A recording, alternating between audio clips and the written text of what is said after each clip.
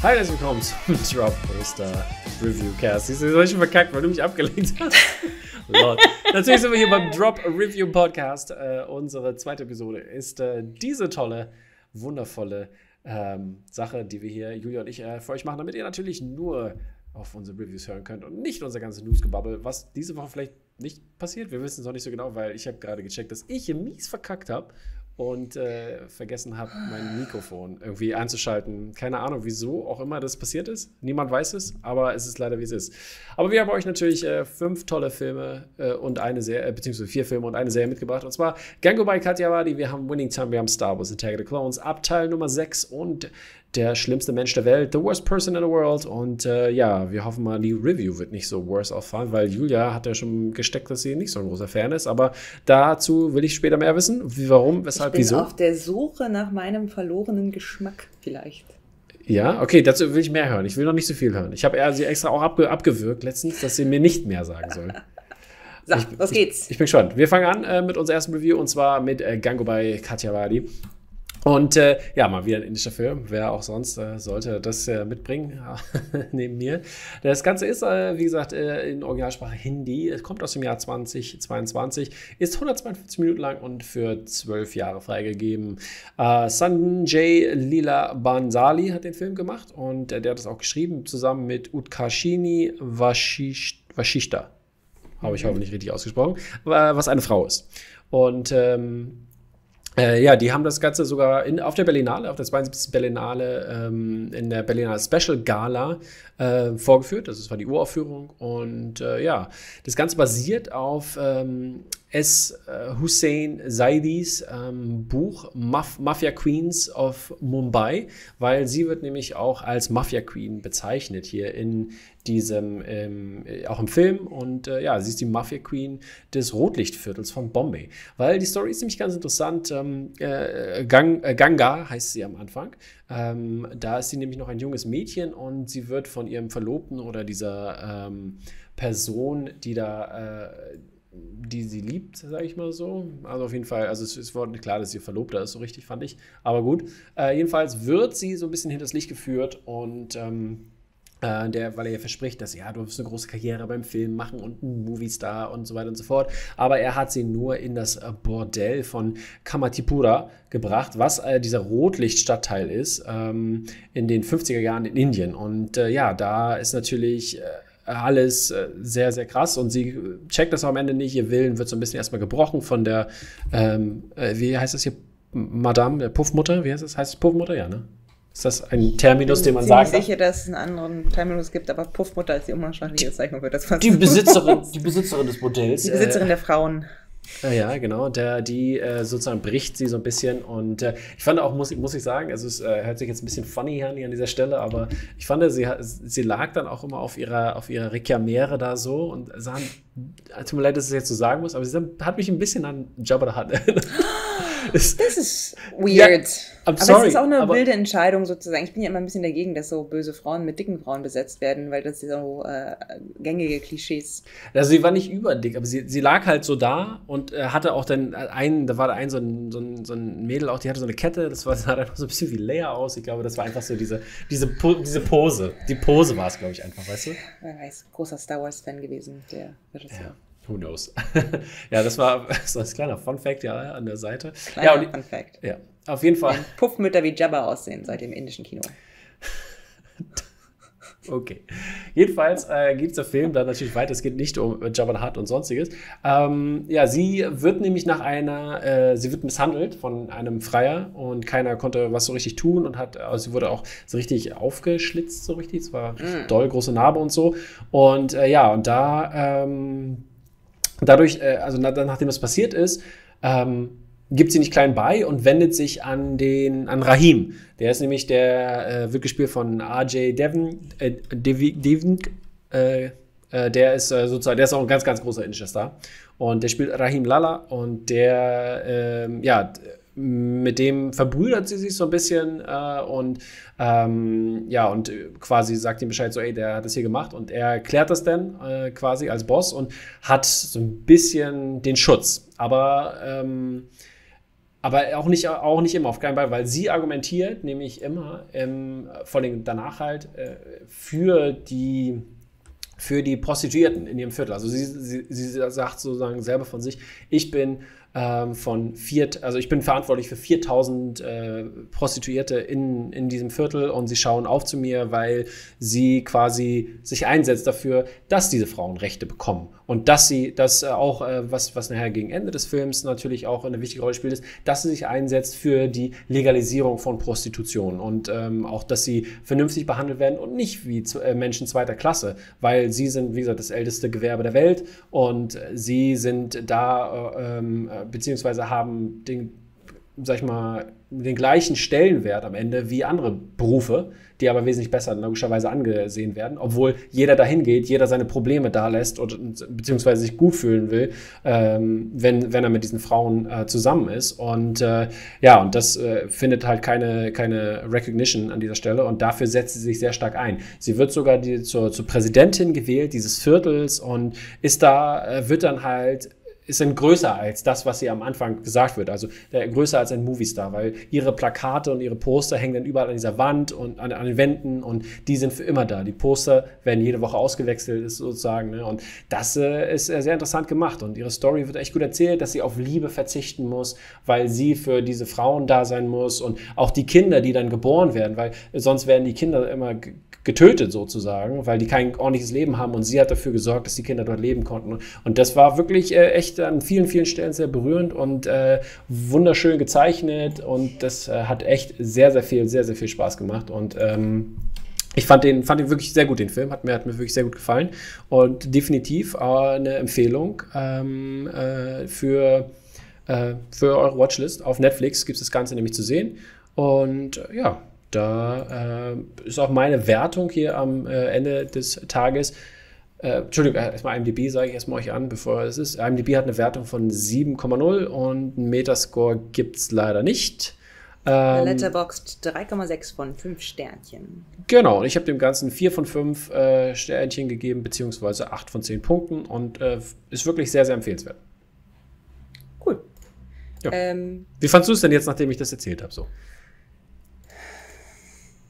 ja. Was hast du denn gedacht? Für mich persönlich ist es zu sehr Biopic, ne? Das, ich halt das ja, ja, das ist ja immer, ne? Aber ein sehr langer Biopic. So. Das ich finde es jetzt nicht uninteressant, aber ich, ich, bin jetzt auch nicht so, dass ich sage so, oh yes, das ist my gateway to Indian Movies. Okay. Irgend, irgendwann muss ich mal, aber ich habe schon das Gefühl, man darf sich da nicht so beschränken. Wenn du das nächste Mal einen Fünf-Sterne-Film ansagst, dann mhm. schaue ich. Das mache ich. Das, hier wird heilig versprochen. Podcast Ehrenwort. Mhm. Wenn das nächste Mal ein Fünf-Sterne-Bollywood-Film angesagt wird, werde ich ihn mit Beginner's Mind schauen. Okay, also ich habe ja Article, Article 15 habe ich ja gemacht, ne? Habe ich das letzte Mal gemacht? Nee, ne? Hast du letztes Mal gemacht? Nee, habe ich nicht gemacht. Aber darüber gesprochen. Ja, habe ich erzählt. Ist mir nicht unbekannt. Wollte ich gerade sagen, den habe ich ja vier, viereinhalb von fünf Sternen gegeben. Ja, was keine fünf Sterne sind, aber. Ja, fünf Sterne ist ja auch hart. Guck mal, wann gibst du mal fünf Sterne? Ich habe neulich auch mal drüber nachgedacht, fünf Sterne ist wirklich schwierig. Aber ich habe nachgeguckt, so ein paar. Fünf Sterne Film, äh, erstmal Everything Everywhere All Once, obviously, aber äh, ich habe dieses Jahr, glaube ich, erst fünf fünf Sterne Filme vergeben. Was ziemlich viel ist. Und da waren zwei Rewatches dabei. Ha. Was war denn, also zweimal Everything Everywhere All the Time? Das auch, aber äh, Raid, äh, The Raid habe ich auch hm. fünf Sterne gegeben. Okay, okay kein Fünf-Sterne-Film, definitiv kein Fünf-Sterne-Film ist die nächste Review, die wir euch What? gebracht haben. Star Wars Episode 2, Angriff der Klonkrieger, Attack of the Clones. So ist es. Aus dem Jahre 2002, lang, lang ist es. Ich habe es geschaut als Vorbereitung auf Obi-Wan Kenobi, der am 27. seine eigene Serie bekommt auf Disney Plus und dieser Film auch auf Disney Plus zu sehen. Die Handlung ist schnell erzielt, Padme, ähm, ehemalige Königin Amidala, ist jetzt äh, Politikerin und wird von einem mysteriösen Kopfgeldjäger mehrfach attackiert. Ähm, als sie die Verfolgung diesem Kopfgeldjäger aufnehmen, stellen sie fest, oh, dahinter steckt mehr. Während Anakin Skywalker totally unfit, aber er wird trotzdem als Begleiter zu Natalie, äh, zu Natalie Portman geschickt, zu Padma Amidala auf Naboo geschickt, um sie dort zu beschützen. Ähm, während Obi-Wan Kenobi im Alleingang äh, dem Kopfgeldjäger auf Camino folgt, dem Planeten, wo die Klonkrieger hergestellt werden, von dem niemand etwas wusste. Hier habt Meister, ihr. diese nicht Meister Seife Diaz? Was? Ihr seid kurz davor, den Krieg zu verlieren? Ach, kein Problem, weil hier sind 2000 Millionen 200.000. Klonkrieger, die den Krieg für euch rumreißen werden. Star Wars Special Ähm. Frage beim Movie Trivia Drop. Wie viele Klonkrieger werden in der ersten, in der ersten Welle gesendet?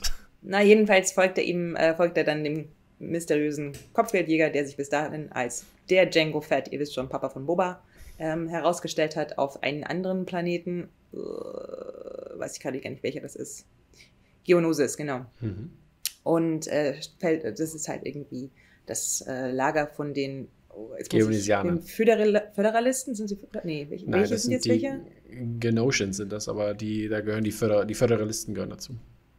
Genau, also sozusagen die Bösen ähm, zu dieser Zeitpunkt des Star Wars-Universums, die dort eben ihre äh, Aber Separatists Droiden- heißt im Englischen. Separatists, genau, ihre Droids ähm, herstellen. Herstellen.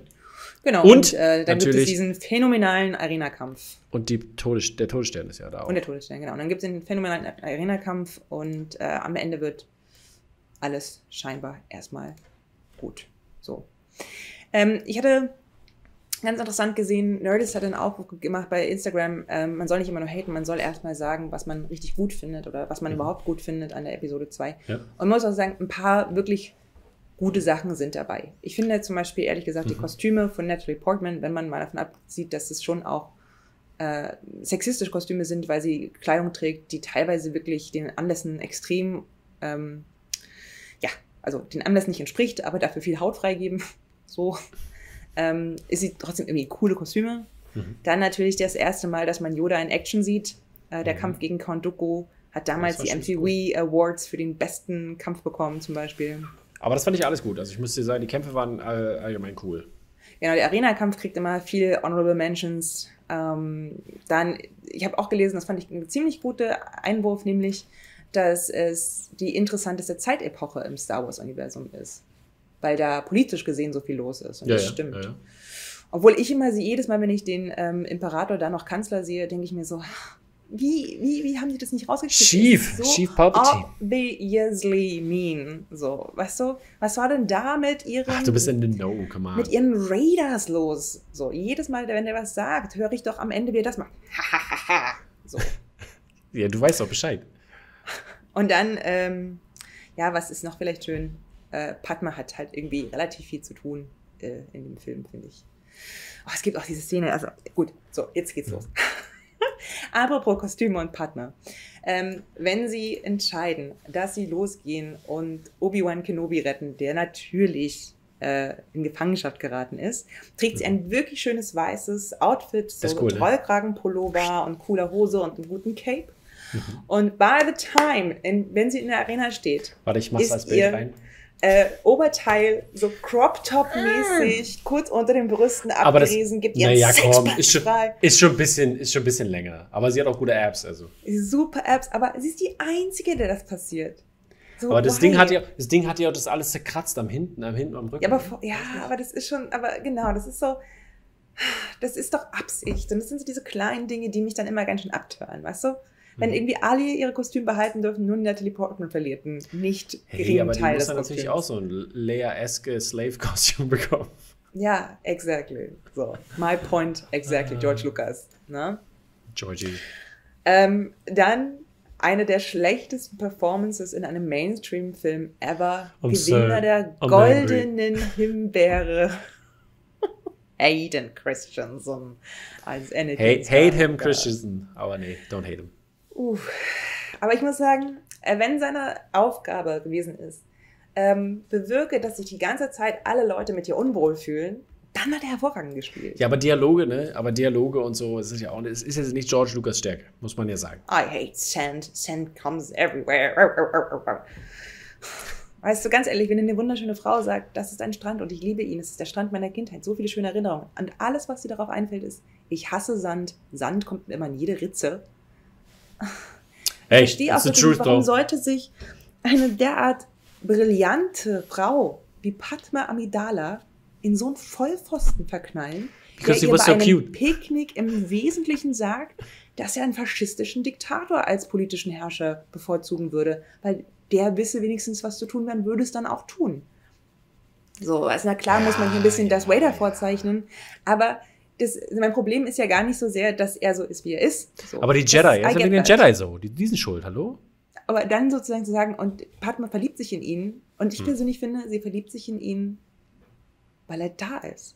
Es gibt keinen anderen Grund. Ich wüsste wirklich nicht, warum diese Liebesgeschichte aus irgend, also warum es die so Mhm. sinnvoll sein soll. Und das ist ja dadurch, dass das ja eigentlich die Core-Geschichte ja irgendwie von Episode 2 ist, dass sie sich lieben. Da, das That's where the baby happens. hinten und vorne nicht. Es gibt auch so eine ganz unangenehme Szene, wo dann, dann muss- holt er sich ja dieses Reittier und Ja, rettet ja. sie da in der Arena und sie macht diesen, springt dann auf dieses Reittier, umarmt ihn so und gibt ihm so ein Küsschen. Und ich denke so, das ist alles zu viel, Leute. Das ist alles zu viel und auch gleichzeitig zu wenig. Und das ist wirklich schwer auszuhalten. Auch die Figuren sind so auf so Punchlines die ganze Zeit reduziert. Ja, von Obi-Wan 13-Jährigen, Kenobi muss die 12-Jährigen. ganze Perfekt. Zeit sagen, oh, I hate flying, I hate flying and that's why I hate flying. So, weißt du? Und Anakin ist die ganze Zeit so, I have a bad feeling about this, I have a bad feeling. Und denkst dir so, Leute, okay. Und Ja, auch die. ich muss ja sagen, die, die Clone Wars äh, äh, Animated Show, die hat ja Anakin gerettet, auf jeden Fall. Muss ich sagen. Was, was, was, was diese Zeitepoche angeht, weil das Yes. ist schon, ne? Ein bisschen Aber- komplexer durfte da sein. Aber dieser Film ist wirklich die Hölle. Also Ja. alle Charaktere haben irgendwie das Gefühl, als ob, ich habe das Gefühl, ein Brett vorm Kopf. Ähm, auch wirklich sensationell finde ich diese erste Szene, wo, äh, wo man, Obi-Wan Kenobi und Anakin ähm, bei Padma ankommen, sich begrüßen und setzen sie sich so hin und Obi-Wan Kenobi sagt irgendwas, er ist ja der Master. Und Anakin widerspricht ihm so ganz dumm. Und alle schauen sich betrüppelt auf die Finger. So extremely awkward Moment. Aber äh, es ist irgendwie, es ist, man hält es kaum aus, finde ich. Alles Anyways. ist drüber. Anyways. Ähm, Ja, Dann, ich Bewertung, euch mal- IMDb. sagt äh, 6,6 und Metascore von 54. Sex. Letterboxd ist bei 2,6. Äh, also da sind sie ein bisschen ehrlicher. Meine Wertung 1,5. Das ist tough, tough, tough Titties hier, aber ja. Was, was gibst du dem denn so? Boah, keine Ahnung, ich will das gar nicht bewerten. Ich glaube, ne? ich glaube, wenn ich, äh, wenn ich da ehrlich bin, fünf. wenn ich nicht Was ehrlich bin, mehr. Ja, I know, I know, I know. Es ist, es ist, also wie gesagt, es gibt ganz coole Kampfszenen, es gibt ganz coole Kostüme. Oh, oder auch wenn er dann anfängt, diese, äh, die Wir haben Tusken jetzt, nee, wir sind jetzt durch. Wir sind jetzt durch. Wir sind jetzt durch, Julia. sagt, Du bist halt traurig gewesen. Das ist nicht so schlimm, dass du sie alle umgebracht hast. Ach, die Frauen und Kinder, ich verzeih dir. Obwohl ihr Hauptaspekt ist eigentlich sowas zu verhindern. Ich raste aus bei diesem Film. Next Ja. Review, please. Let's move on to Winning Time, was auf jeden Fall ein bisschen more winning war in terms of äh, Movies, äh, äh, TV-Shows, I mean. Ja, eine wundervolle Serie, die jetzt zu Ende gegangen ist. Ich glaube, sie gibt es jetzt auf Sky auch, ähm, ich weiß nicht, im Ganzen schon zu sehen oder wöchentlich eine Folge mehr. Ähm, auf jeden Fall, ich war sehr, sehr begeistert. Ähm, wir beide, meine, meine Freundin und ich, haben das ja geguckt und wir waren beide sehr begeistert. Weil, Zwei äh, Basketballfans. äh, weil wir zwei Basketballfans sind. Erstens das und zweitens, äh, weil die Serie einfach sehr, sehr gut produziert wurde. Das Ganze ist äh, von äh, Adam McKay mitproduziert, äh, Max Bornstein und Jim Hecht, Hecht, Hecht haben das geschrieben. Haupt die Besetzung ist John C. Reilly ähm, als, ähm, als, als ähm, äh, wer ist der? Larry, Larry Buss, wollte ich gerade sagen hier. Äh, ist doch, nee, nicht Larry. Ah, Jerry, Jerry Buss. Jetzt habe ich sorry. Jerry Buss, der, äh, der, der Longtime Lakers-Owner war.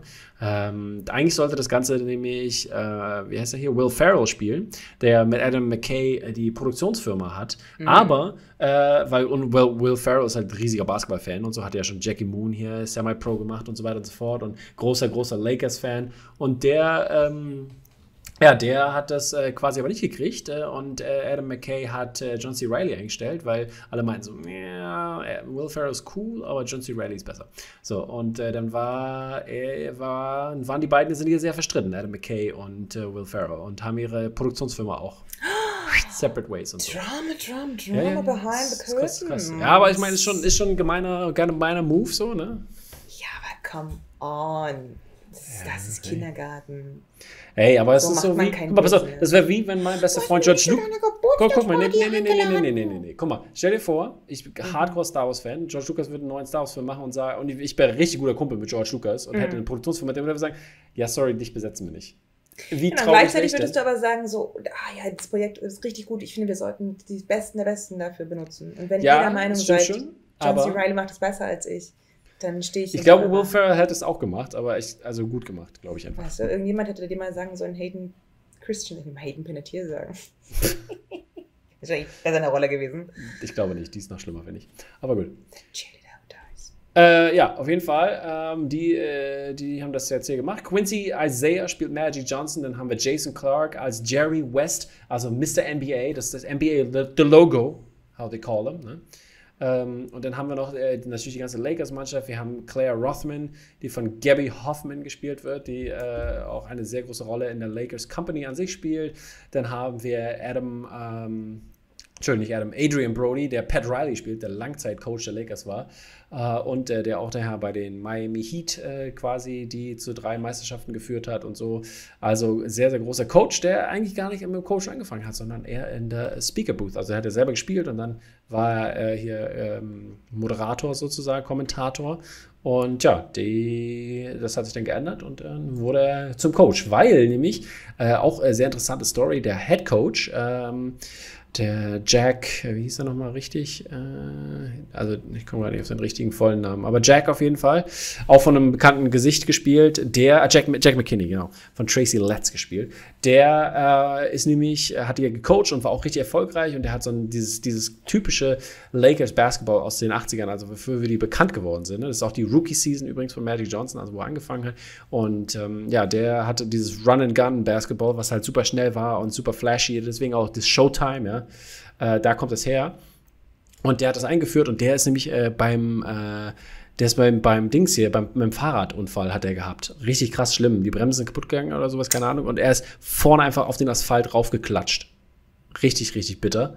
Und äh, ja, der, der hat, musste war lange Kummer und dann sein äh, Head, sein, sein, sein, sein Assistant Coach hier von Jason Siegel gespielt, äh, äh, am Start gewesen und äh, Pat Riley hat ihm geholfen und das war schon sehr, sehr cool. Und wir sehen natürlich auch die große Basketball-Legende Kareem Abdul-Jabbar. Wir sehen Larry Bird, der am Start ist und äh, wie gesagt, die ganzen anderen Lakers, die man aus dieser Zeit kennt. Und es war sehr, sehr cool, weil das Editing war richtig geil gemacht. Also die hatten immer so, wenn die manchmal so, so intensive Gespräche gehabt haben, wurden andere Sachen äh, rübergelegt. Die hatten das von, von 4K, super krass scharfen Aufnahmen hin zu so einem 80s-Look immer gewechselt. Ey, es war und auch super passend zu jeder Situation. Also es war ein großes, großes, großes Kino. Definitiv sehenswert. Also ähm, ich wünschte, alle sehen das. Sally Field spielt übrigens auch mit, als äh, die, die, die Mutter von äh, Jerry Buss, also als John C. Riley. Und es großes, großes Kino. Ich äh, kann das immer nur wieder jubeln, äh, bejubeln, weil es zeigt echt eine coole Zeit und man will darüber mehr wissen. Also ich glaube, gefühlt nach jeder Folge wollten wir irgendwelche Dokumentationen gucken. Wir haben dann auch in der Zeit äh, They Call Me Magic, die äh, Apple-Doku dazu gesehen. Äh, und um mal bis Seite zu beleuchten, weil auch während der Zeit, während es rauskam, die äh, Menschen wie Kareem Abdul-Jabbar, äh, ich glaube, äh, was nicht, Jerry Buss nicht war, äh, Magic hat auch, glaube ich, was gesagt, aber äh, zwei, drei Leute haben auf jeden Fall sich äh, öffentlich gesagt, so, ja, nee, so sind wir eigentlich nicht. Jetzt natürlich die Frage, mhm. was, äh, wie sind die Leute? Weil es wurde natürlich auch viel Drogen, Drogen wurden thematisiert, der Drogenmissbrauch. Äh, es wurde natürlich die, diese, weil ne, von, von nichts kommt nichts, äh, sag ich mal, was die, den HIV-Erkrankung von ähm, Magic Johnson äh, betrifft. Weil ich meine, die ist äh, in, der, in der Hinsicht noch relativ weit hin, bis das passieren sollte, weil es Anfang der 80er ist. Und äh, das ist, ist ja erst in den 90ern, als das bekannt wurde. Aber äh, es wird so ein bisschen so ein Grundstein gelegt, so von wegen hier, diese, ich nenne es mal jetzt freie Liebe, beziehungsweise auf Tour, äh, auf, auf on the road sein beim Basketball hier, ne? Und dann äh, da sein Ding zu machen. Und äh, ja. Und ganz ehrlich, ähm, ich finde einfach, Kunst ist Kunst und muss nicht das Leben abbilden. Das ist ja, also. Naja, aber schon kacke, also, wenn die dich ich, schlechter darstellen. Ja, klar, so, ich kann das verstehen. So, ne? aber weißt du, hört jemand sich die Queen beschweren? Die stirbt auch gleich. Ja, keiner hat die Queen gesagt, nachdem sie äh, den Diana-Film gesehen hat. So gemein war ich gar nicht. Ja. Naja, jedenfalls ähm, gab es also da. Magic Johnson orientiert dich mal an der Queen, ja? Wurden da ein paar Beschwerden laut und so. Ähm, ja, Aber ja. insgesamt trotzdem tut das Sache keinen Abbruch, weil es war einfach wirklich sehr gutes Drama, sehr gut inszeniert. Äh, die Schauspieler waren alle sehr passend, es hat sehr viel Spaß gemacht. Äh, man hat Bock auf Basketball gekriegt, das war wundervoll. Ähm, deswegen auch äh, meine Bewertung gleich. Äh, IMDb sagt 8,4 auf äh, Letterbox wahrscheinlich nicht Nichts zu finden. Zu finden ne? Genau, genau ähm, ich bin sogar ein bisschen höher, ich bin bei 9,5 von 10. Mir hat es sehr, sehr viel Spaß gemacht. Steht ganz oben auf meiner Watchlist, Winning Time. Sehr ganz gut. weit oben.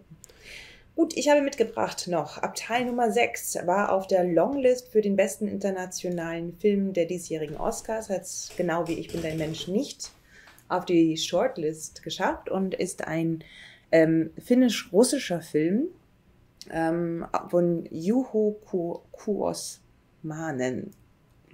So, Abteil Nummer 6, man hört es schon, ist ein Film, der einen Roadtrip darstellt auf Schienen. Das heißt, äh, die größte Teil des Films, yes, habe ich auch die ganze Zeit gedacht. der größte Teil des Films ist so Zugromantik, wie man eben so in einem Nachtzug drei Nächte lang von, äh, von Moskau nach, ähm, ach, weit Richtung Osten, Murmansk, genau, Murmansk. Mhm. Und äh, der Film fängt so an, dass wir die Hauptfigur Laura, die gespielt wird von Sadie Harler, ähm, die ist sozusagen eine finnische Austauschstudierende in Moskau. Sie studiert Archäologie und äh, lebt mit ihrer russischen Freundin, und zwar nicht Freundin, Freundin, sondern, also Freundin, sondern Freundin, Freundin ähm, zusammen. Und man steigt in den Film ein mit einer Abschiedsparty für sie. Und äh, wir sehen auch so ein paar Küsse und Liebesszenen, was ich ziemlich aufregend fand, tatsächlich dafür, dass es ja auch ein russischer Film ist. Mhm. Und wie Russland mit Homosexualität umgeht, ist ja leider bekannt, nämlich nicht besonders. Vielleicht wurde er nicht in Russland gezeigt wahrscheinlich wurde nicht in Russland gezeigt. Ähm, genau, und dann beschließen die beiden Frauen eben, dass sie nach Murmansk fahren wollen, um sich dort äh, die Petroglyphen anzuschauen. So eine große archäologische Sache, tolle Sache. So für alle anderen alte Steine. Und kurz vorher sagt aber die russische Freundin quasi ab und kommt nicht mit auf diese, diese Reise. Und deswegen muss sie dann alleine in diesem Abteil sein, Abteil Nummer 6, und verbringt dort die drei Tage mit einem sehr, sehr, sehr, sehr maskulinen Russen. Minenarbeiter, nämlich, äh, ein Minenarbeiter. Genau, Joha, ähm, der wirklich anfangs alles ist, was man hasst an Männern. Also innerhalb von zehn Minuten ähm, will er Geld für ihre Möse bezahlen und so weiter und so fort. Und nach und nach ist natürlich, wie das ist, wenn man auf so engem Raum zusammen ist, entwickelt sich da irgendwie eine Beziehung. Da mhm. kann man ja gar nicht, äh, kann man gar nicht verhindern. Und das führt ehrlich gesagt zu vielen sehr, sehr schönen Szenen, die ähm, den Film dann auch so tatsächlich ziemlich berührend machen. Was vielleicht auch ganz cool ist, der Film spielt boah, Ende der 90er Jahre, was man zum Beispiel daran sieht, wie die Parkers aussehen, aber auch, dass sie die ganze Zeit einen Camcorder benutzt und ähm, mhm. sich äh, einen Walkman benutzt und auch gab es auch so Momente natürlich, wo sie ihren Tape mit einem Bleistift aufziehen muss und sowas so alte Reminiszenzen. Also das mochte ich ganz gerne, die Grobkörnigkeit des Films, die dann auch immer wieder natürlich auch noch gesteigert wird, indem diese Aufnahmen durch den Camcorder gezeigt werden. Und ähm, besonders schöne Szenen sind dann zum Beispiel, wenn er sie mit zu seiner Großmutter nimmt und dann fangen sie alle an, selbstgebrannten zu trinken und werden so ein bisschen lockerer und ähm, sprechen darüber, was Frauen und Liebe und Männer und so weiter verbindet. Ähm, das ist schon ganz cool gemacht und wie sich die Figuren nahe kommen, ähm, wann, wann, wann sie brechen, wie sie, wie sie sich entwickeln. Das ist wirklich spannend. Bis zu dem Punkt, wo es mir zu viel wurde, interessanterweise. Ähm, wann, also, nicht, was, darf ich was war zu viel? Also, Spoiler ganz am. Ende des Films ist es so, ähm, dass, äh, dass, ich weiß gar nicht mehr warum. Ach ja, genau, sie bittet ihn, seine Adresse aufzuschreiben, weil man ja nie wissen könne, ob man sich nicht nochmal wiedersehen möchte im Leben. Hm. Ganz am Ende der gemeinsamen Reise, nachdem sie wirklich viele Dinge erlebt haben und auch wirklich zusammengekommen sind als Team. Und er macht, schmeißt ein übelstes Tantrum, so, nein, mache ich nicht, meh, meh, meh, meh, zeichne dich nicht, gib dir nicht meine Adresse, mhm. stürmt davon und sie stürmt ihm nach und dann umarmt sie ihn. Und ich war da kurz davor, dem Film vier Sterne zu geben und denke so, oh, wie schön, was, was für eine schöne Umarmung. Und dann fängt sie an, ihn zu küssen. Und dann dachte ich mir so, this is weird. Weil Romantik wurde echt null zwischen den beiden entwickelt. Außerdem wurde, wurde sie mir im Film als Lesbe vorgestellt. Jetzt kann man natürlich schon sagen, Julia, es gibt auch Bisexualität. Mhm. Gibt es wohl auch, aber trotzdem, also diese, diese, dieses Begehren kommt out of nowhere. Man kann natürlich sagen, der Film spielt mit dem, also das größte Motiv des Films ist Einsamkeit. Wie gehe ich als Mensch mit Einsamkeit um? Bin ich nicht immer einsam? Wie, kann mir eigentlich ein Mensch wahrhaft begegnen, was ja ein sehr, sehr schönes Filmthema ist. Und ich glaube, diese, also diese, diese, diese Attraktivität soll ein bisschen daher kommen, dass sie, sie beide gegenseitig so ihre Einsamkeit aufheben. Und ich finde aber schade, dass sie das nicht nur als Freunde dürfen. So, mhm. warum, warum muss da geknutscht werden? Und sie will ihn eigentlich sogar schon ausziehen und dann reißt er sich so von ihr los und stürmt aus dem Abteil und so weiter. Und ganz am Ende hatte ich sogar das Gefühl, es gibt noch einen größeren Grund, ähm, nämlich dass er möglicherweise Analphabet ist und deswegen seine Adresse mhm. nicht aufschreiben wollte. Aber da bin ich mir ehrlich gesagt unsicher. Äh, da kann gerne jemand, der auch Abteil Nummer 6 gesehen ist er so irritiert davon, dass er seine Adresse aufschreiben will, soll, weil er nicht kann? Kann er seine Adresse einfach nicht aufschreiben? Weil natürlich spielt zum Beispiel auch in diesen Film mit hinein ähm, so ein Klassenunterschied. So, sie ist halt eine Akademikerin, die sich für Petroglyphen interessiert und er ist halt ein richtiges, also ein richtiger Prolet, der eben für Bergarbeit ähm, bezahlt wird. Also eine der äh, ja, unangenehmsten Jobs, die die Welt so zu bieten hat vielleicht. Mhm. Ja, also deswegen finde ich nach wie vor ist eine sehr, sehr interessante Prämisse, die cool umgesetzt wird, wie sehr, sehr unterschiedliche Figuren sich hier begegnen, toll gespielt, also wirklich jeweils sehr, ähm, also Figuren waren wirklich toll verkörpert, also man hat den Schmerz beider Figuren sehr gut gespürt, finde ich persönlich, was mich dann immer so ein bisschen mitnimmt. Aber wie gesagt, das Ende hat mich merkwürdig rausgerissen, weil ich dachte, ja, okay, aber ihr macht es euch zu einfach. Wenn man Einsamkeit nur mit Liebe begegnen kann, das ist mir immer ein bisschen zu wenig. Mhm. Ich finde, Einsamkeit kann man auch sehr gut mit Freundschaft begegnen und das ist dann vielleicht umso stärker. Am Ende von Casablanca müssen sich die Männer ja auch nicht küssen. Wäre doch so. mal was. IMDb-Bewertung bitte. 7,3 und mhm. Metascore von 80. Bei Letterboxd auch 3,7. Und ich persönlich, ich bin so ein bisschen hin und her gerissen zwischen 3 und 3,5 Sternen. Also wenn das Ende anders gewesen wäre, wäre es jetzt mehr gegeben. Aber tatsächlich war dieses Rumknutschen, das hat das für mich so ein bisschen kaputt gemacht. Also wie das halt manchmal so ist. So ein Film ist okay, kann ist okay. wunderbar dahin plätschern und man ist ganz berührt von ganz vielen Szenen. Und dann gibt es so einen Moment und die Hauptmessage geht einem so ein bisschen kaputt. Aber bis jetzt nicht, der Film für mich nicht mehr. Bist jetzt nicht total daneben, ist doch okay. Also nicht weit weg von dem Durchschnitt. Nicht, nicht weit weg. Genau, also anders als Ich bin dein Mensch, finde ich durchaus zu Recht nicht auf der Shortlist für den internationalen besten Film gelandet. Okay, Dann habe ich aber den Hands of God und den Jack-Film nicht geschaut, deswegen weiß ich nicht, ob die so viel besser sind als Ich bin dein Mensch. Hast du die beiden ah. eigentlich gesehen? Äh, Hands of God und Jack im Klassenzimmer? Hands of God habe ich noch geguckt, aber Jack nicht. Okay. War Hands of God gut? Aber du hast ja auch Ich bin okay. dein Mensch nicht gesehen, ne? Ja, ich, ich habe mich immer gedrückt jetzt die ganze Zeit davor irgendwie. Ich habe nicht so Lust. hey. Komm, du drückst dich vor anderen Sachen. Also gut. Äh, ja, ein Film, der auf jeden Fall auf der äh, finalen Liste der internationalen Feature gelandet ist, ist uh, The Worst Person in the World. Und wir reden jetzt mal über diesen Film, der bei uns äh, am oh, 2. Juni, am 2. 2. Juni, startet. Genau. Äh, lief äh, am 8. Juli in Cannes, wurde er gezeigt. hier war die, die Uraufführung. Letztes Jahr. Genau, das Ganze ist von Joachim Trier, der äh, die Oslo-Filme gemacht hat hier. Äh, Reprise, Oslo, August 31st und mhm. dann noch irgendein, glaube ich. Äh, ah nee, das ist der Third-Film. Achso, das soll der sein. Entschuldigung. Ähm, und äh, ja, und Eskil Vogt, den man ja aus anderen Sachen kennt, ähm, wie zum Beispiel, der jetzt gerade diesen, den The Innocent gemacht hat, den ich ja auch sehr gut fand, diesen Horrorfilm. Mhm, der mhm. hat das gemacht und ähm, da und auch andere gute Filme, Thelma, Louder Than, Louder Than Bombs und hat auch mhm, geschrieben, mhm. Oslo und so weiter und so fort. Und ja, ähm, der, der, und, und Dings, glaube ich, auch, ne? Hat er nicht Another Round auch gemacht? Aber ich bin mir gar nicht sicher. Nee, ich glaube nicht. Nee, das macht keinen Sinn. Ist ja kein Däne.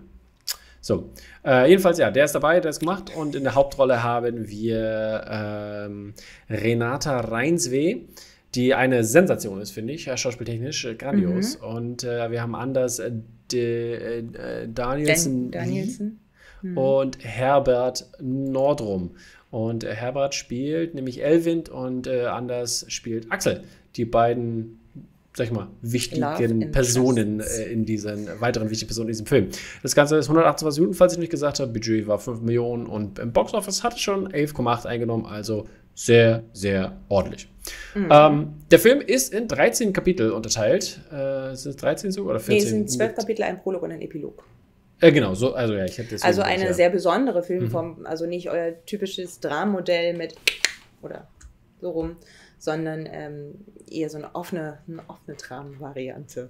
Hm. Willst du erzählen mal, worum es geht, Julia? Und ja. ich zeige mal ein paar Bilder. Es geht um äh, die fast 30-jährige, beziehungsweise dann 30-jährige Julia. Mhm. die ähm, so ein bisschen durchs Leben meandert, bis sie sich verliebt in den 44-jährigen Comiczeichner Axel, mit äh, dem sie dann auch zusammenzieht, der mit ihrer Familie gründen möchte. Sie möchte aber nicht so richtig.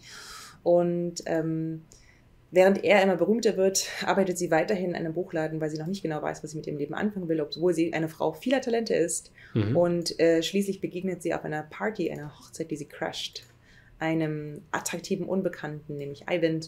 Ähm, und dann verbringen sie eine Nacht, in der sie sich, in der sie nicht betrügen, sondern mhm. alle Dinge, möglichen Dinge ausprobieren. Ich sage, es ist sehr in the mood of love hier. In the mood for love.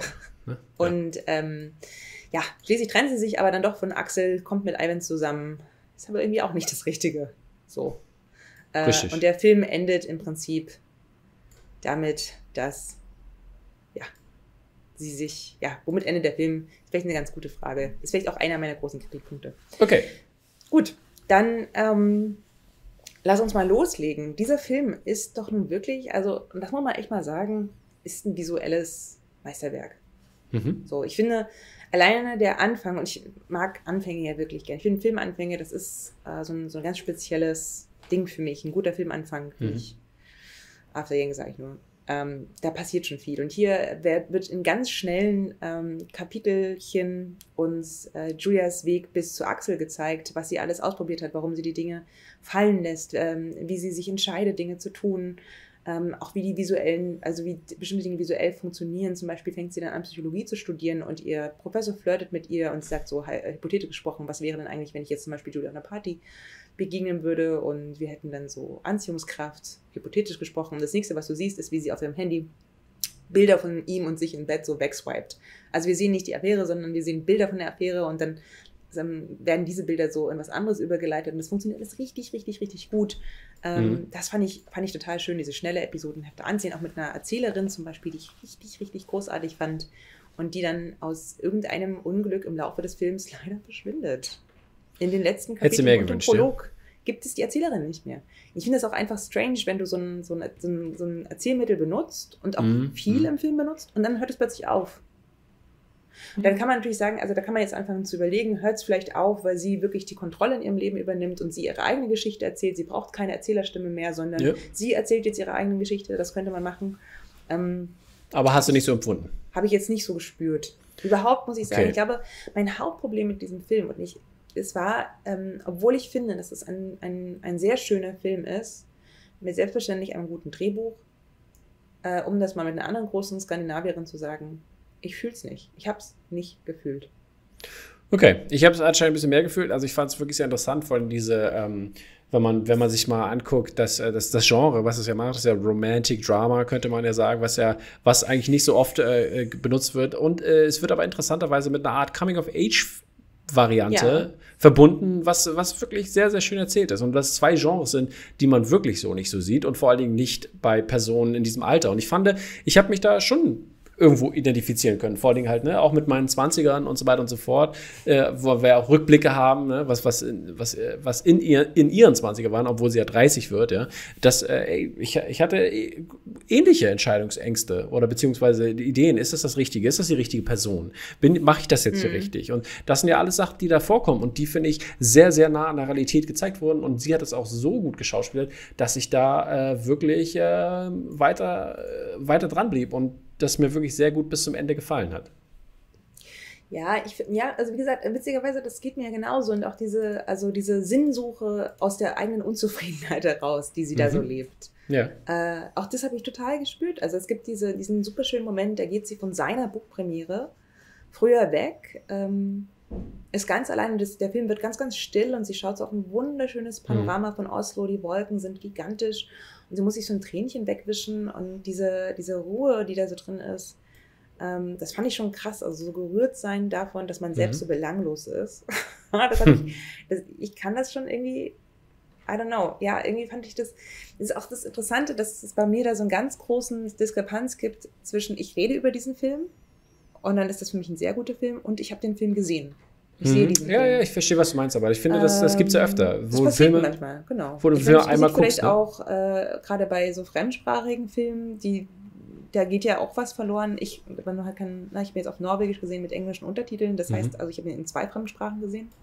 Ja. Möglicherweise ist auch das ein Problem und ich fände es eigentlich ganz interessant, den mal auf Deutsch zu sehen.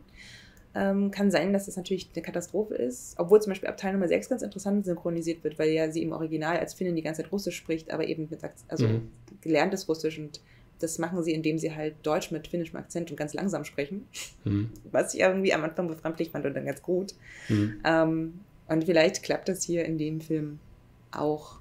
Mhm. Ähm, vielleicht, vielleicht würde mir das tatsächlich helfen, helfen den Film nochmal auf Deutsch zu schauen. Vielleicht komme ich ihm dann etwas näher, weil die Grundmessages, die fand ich echt total spannend. Auch dieses, Mhm. was Genau. erwartet man eigentlich von Menschen um die 30, ähm, Kinder kriegen, sesshaft werden und so Mhm. weiter und so fort. Und das war, genau, das fand ich halt, das hat diesen Film für mich wirklich sehr, sehr besonders gemacht und hat ihn gut Mhm. äh, für meine Realität äh, umfasst und äh, finde ich daher sehr, sehr sehenswert. Und ähm, äh, was wollte ich jetzt sagen? Das habe ich übrigens vergessen, was wollte ich noch Wichtiges sagen? Ich finde, Ah, was ja. noch hinzukommt, ist zu der Message des Films, finde ich, ist ja auch wirklich, dass da der äh, Regisseur sich traut, visuell einige interessante Dinge zu machen, die jetzt auch nicht. Mhm. Also, wer Big Lebowski gesehen hat, der findet jetzt die Drogenszene jetzt nicht so krass. So. Ja, ja. Das ist halt, ähm, hat man in den 90ern schon gemacht. Aber zum Beispiel Aber das, da- diese finde- titelgebende Szene, des ähm, alle sind im Freeze und sie läuft dann quasi ihrem Herzen folgend durch die Stadt. Ja, das war super. Das, ist das, schon war, das war, aber muss sehr sagen, beglückende Szene. meine besten, also es waren meine Lieblingsszenen in diesen beiden Filmen. Also das, wo sie läuft halt und das mit den Shrooms, aber ähm, eher ähm, was in der, in der Szene passiert, mit ihrem, mit ihrem, Mhm. dass sie ihren Vater konfrontiert und so weiter und so fort. Und das war Mhm. schon wirklich cool. Das hat mir sehr, sehr gut gefallen. Hm. Aber aus dem Grund, stimmt, nicht dieses, aus dem äh, visuellen Grund. Ja. Also jetzt mal hier Spoiler galore, wie sie das Tampon auf ihren Vater wirft, gehört für mich auch vielleicht zu den schönsten Szenen des Jahres. ähm, There you have it. Was ich ganz interessant, nein, oder nee, nee, was ich ganz noch? interessant finde noch, ist vielleicht zu diskutieren, ähm, das ist ja ein Film von einem männlichen äh, Duo geschrieben und von Mhm. einem Mann inszeniert. Ähm, ganz interessant, er hat ja den Film gemacht, nachdem er Renate Rainsway in seinem Film ähm, der 31. August Oslo Hm. äh, in einer Mini-Rolle gehabt hat. Und er war Ja. so begeistert von ihr, von ihrer Energie am Set, dass er Die wollte ja gar nicht mehr, ne? Film, genau, sie wollte eigentlich mit dem Film aufhören und ähm, dann hat er ihr diesen Film ja wirklich maßgeschneidert, weil er so begeistert war von ihrer Set-Energie, dass er die, dass er einen Film um sie herum inszenieren wollte, was ja wirklich auch äh, große Ehre für Und ich finde deswegen irgendwie ist. Schweinerei, dass sie nicht, äh, ähm, Nicht dass sie nominiert da war für- nominiert genau. wurde. Genau, Ganz- sie hat aber ganz, ganz sonst schwer. alle großen, ähm, großen, BAFTA hat sie gewonnen, Cannes hat sie gewonnen, beste Mhm. Darstellerin. Also ich- ja, irgendwann reicht's ja auch mal. Na klar, Und- aber ich finde, dass sie nicht mal nominiert war. So. Bestimmt. Aber worauf ich eigentlich hinaus will, ist sozusagen, wir haben hier ähm, Männer, die einen Film über eine Frau schreiben und funktioniert es ja oder nein. Und für mich ist das ein ganz klares Jein. Ich finde, an Julie finde ich ganz spannend, dass sie eigentlich keine richtige, so keine, keine weibliche Figur ist. Also obwohl Mhm. sie so sehr an Carrie Bradshaw erinnert, in dem, wie sie Ja. lebt und was sie lebt, Mhm. ähm, wie sie das empfindet und auch wie sie es zeigt, ist es trotzdem, ich finde, sie ist eine sehr universeller, universale Figur. Auch dieses, ähm, was vielleicht eins meiner Lieblingsmotive an dem Film ist, ist dieser schmale Grat zwischen ähm, Selbst, äh, Selbstmanipulation, also so sich selbst Steine in den Weg legen Mhm. und gleichzeitig selbstbestimmt zu handeln. Das finde ich total spannend. Also wann mache ich eine Situation kaputt, weil ich der Meinung bin, sie ist nicht gut für mich und ich muss da raus, Mhm. zum Beispiel eine Beziehung. Und wann ist es aber vielleicht eine blöde Idee gewesen, diese Beziehung eigentlich kaputt zu machen, weil ich dachte, da passiert noch was Besseres für mich. Ja, Entscheidung. ne? Ähm, genau, das fand ich ein, das finde ich ein ganz äh, spannendes Motiv des Films, äh, der ganz cool ist. Und das ist auch das, also Joachim Trier sagt ja selber, er macht Filme im Prinzip, weil er diese, diesen Realismus zeigen möchte. Er möchte nicht immer nur Filme zeigen, die so, ja, besser als die Welt sind, sondern Mhm. mehr davon abbilden. Hyperrealität. Hyperrealität. Und diese, ja, und genau das, dieses natürlich sich entscheiden müssen, ist für Menschen um die 30 eine Wahnsinnsache. Also wir alten Menschen so um die 36, für uns ist das alles gegessen. Wir wissen, wo wir hingehören. So ist es. Aber ja, Ja. Ähm, Also wie gesagt, für mir, ähm, für mich Wat- ein Problem des ja, Films also. ist, warum ich jetzt zu meiner nicht so guten Wertung gekomme von nur 7 wat, von 10. ja, ey, lass mich das mal die Ach so, sorry, ja, ich vergesse die Reihenfolge, machst alles aus dem Neu. Ich wollte, dir, ich wollte dir das Wort fallen, aber dann dachte ich, du sorry. kriegst den Bogen, aber hast du nicht. Aber Hab ich gut. nicht. Die IMDb-Bewertung ist 7,9 von 10, ein Metascore von 90. Was sagt Letterboxd? Äh, Letterboxd ist bei 4,2. Okay, Also- jetzt darfst du, Julia. Ziemlich hoch. 82 wäre das dann so. Ja, ähm, ich bin wie gesagt bei 7 von 10 Punkten, einfach weil ich, ähm, weil ich den zweiten Teil des Films sehr schwach fand tatsächlich, Hm.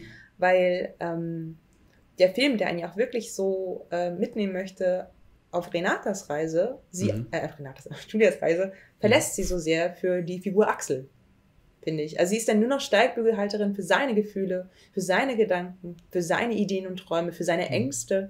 Und auch das Ende des Films, der Epilog, den finde ich extrem kontrovers. Also sie ist dann, äh, sie geht sozusagen ihrer Karriere als Fotografin nach Mhm. und sie muss äh, Setfotos machen von einer Schauspielerin, die total rumgeschubst wird von einem Mann, so in der Art und Weise.